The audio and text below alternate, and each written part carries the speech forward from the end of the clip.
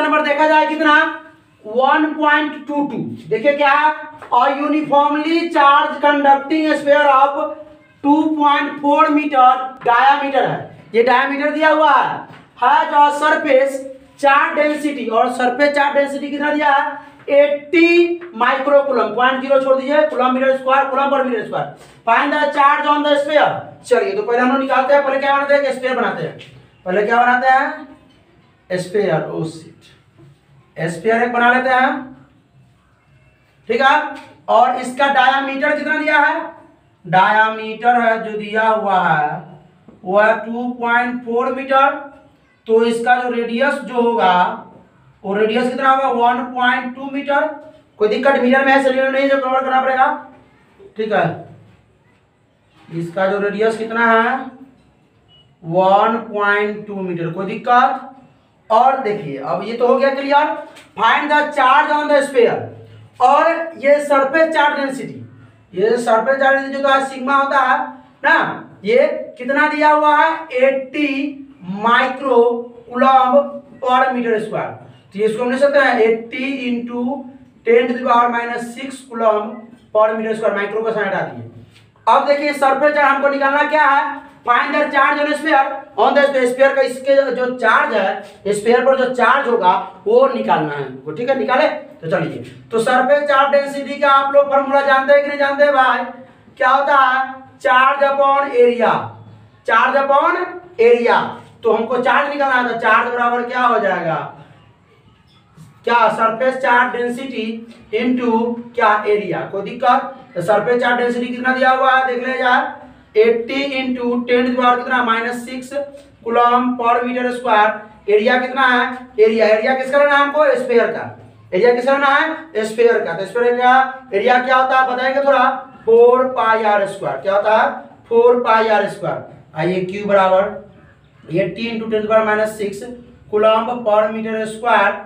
इसमें लिखेगा हो। और फोर पाई का वैल्यू कितना होगा? थोड़ा ध्यान दे दीजिएगा। ये पाई होगा थ्री पॉइंट वन फोर इससे आगे भी होगा, लेकिन हम लोग इतना ही लेंगे उसको से जाने लेंगे। और ये आर स्क्वायर है आर का वैल्यू कितना है, देखा जाए, ये क्या था डायमीटर था टू पॉइंट फोर रेडियस है one one point two metre into one point two metre क्योंकि आर स्क्वायर दो बार। इतना समझ में आया कि नहीं समझ में आया? हम किसी भी वीडियो में कुछ नहीं बोलते, सिर्फ़ ये बोलते हैं कि कमेंट कीजिएगा, अगर समझ में आया तो भी, नहीं आया तो भी। कमेंट कीजिएगा। तो नहीं समझ आया तो दोबारा बना के फिर से अपलोड करेंगे। तो कुछ और एक्सप्लेनेशन करेंगे, समझाएँगे? कुछ और तरीके से? चलिए। तो अभी इसको तो गुना करना है? एट्टी को, फोर को और थ्री पॉइंट वन फोर को, वन पॉइंट टू को और ये वन पॉइंट टू को। तो मल्टीप्लाई करने पर डायरेक्ट कितना आ रहा है? वो फोर फोर, ना, चौदह सौ छियालीस point nine two, nine one two. Into अब देखिए मीटर स्क्वायर है। Metre metre cancel. कोई दिक्कत? आ गया सिर्फ़ कुलम बच गया। क्या बच गया सिर्फ़? कुलम अब देखा जाए ये टेन द्वारा कितना? माइनस सिक्स तो ये है ना? और ये कुलम हो गया। कोई दिक्कत? अब क्या करेंगे? ये पॉइंट को हम लोग को पता है कि राउंड अप या सिग्निफिकेंट फिगर पढ़े होंगे आप लोग इलेवेंथ में तो क्या कहता है? पॉइंट से पहले सिर्फ़ वन डिजिट होता है। एक एक अंक होना चाहिए। तो आइए। तो क्या करते हैं हम लोग? पॉइंट को लेफ़्ट साइड ले आएँगे। जितने जितने अंक को तरपाएँगे टेन पावर उतना से गुना हो जाएगा। ठीक है? तो one two three three times हम इसको तरपा रहे हैं। तो क्या आ जाएगा? वन पॉइंट फोर और ये फोर सिक्स इतना चीज़ नहीं लिखते जाते छोड़ देते हैं। टेन बार कितना आ जाएगा? माइनस सिक्स और कितना अंक लेगा है? वन टू थ्री अंक तरपा के लेगा है। तो टेन बार थ्री से मल्टीप्लाई हो जाएगा। तो ये क्यू बराबर आपका हो गया। ये कितना? वन पॉइंट इतना चीज़ को हम लिख सकते हैं।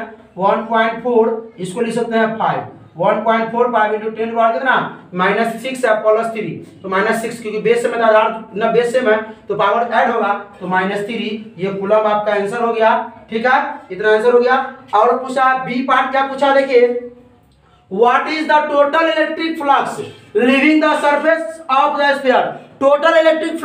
है। मालूम है इलेक्ट्रिक फ्लक्स होगा अरे भाई इलेक्ट्रिक फ्लक्स जो निकालना है उसका क्या होता है? चार्ज अपॉन बड़ी बड़ी बड़ी एप्सिलॉन नॉट क्या होता है? एप्सिलॉन नॉट तो आप देखिए क्या निकालना है? ये है इलेक्ट्रिक फ्लक्स चार्ज कितना लिए? 1.45 into 10 to the power minus three coulomb और एप्सिलॉन नॉट। कुलम हटा दीजिए, छोड़ दीजिए। अब क्योंकि उतना गुना करते करते रहेगा। एप्सिलॉन नॉट का वैल्यू कितना होता है? 8.85 into 10 to the power minus 12 ना, ये ना होता है, coulomb square per newton metre square कोई दिक्कत, लिखना है तो लिख दीजिए, कोई दिक्कत नहीं है। आइए करते हैं इसका। तो ये पहले तो इसको ऊपर भेज दीजिए 1.45 आइए बाई में कितना हो जाएगा? 8.85 इसके बाद ही फोर होता है, और ये टेन पावर कितना है? माइनस थ्री है, और ये टेन पावर कितना हो जाएगा? प्लस में ट्वेल्व हो जाएगा। कोई दिक्कत? और ये newton metre square per coulomb square per coulomb answer आता है। ठीक है? तो आइए, अब ये देखिए, ये एट से डिवाइड करने में वन में, थोड़ा समझ रहे हैं ना क्या? तो इसको करते हैं क्या? One point four five by eight point eight point eight five into minus three plus twelve तो माइनस थ्री प्लस ट्वेल्व कितना जाएगा? माइनस थ्री और ये प्लस ट्वेल्व कितना जाएगा? प्लस नाइन क्या हो जाएगा? प्लस नाइन तो टेन टू दी पावर क्या है? आपका प्लस नाइन दिया हुआ है तो एक टेन हम इसमें ले आते हैं। अगर एक टेन इसमें ले आएँगे, इसमें से उठा के इसमें तो कितना हो जाएगा? एक टेन आएगा तो इसमें गुना करेंगे तो कितना हो जाएगा? टेन कितना हो जाएगा? फोर्टीन कितना हो जाएगा?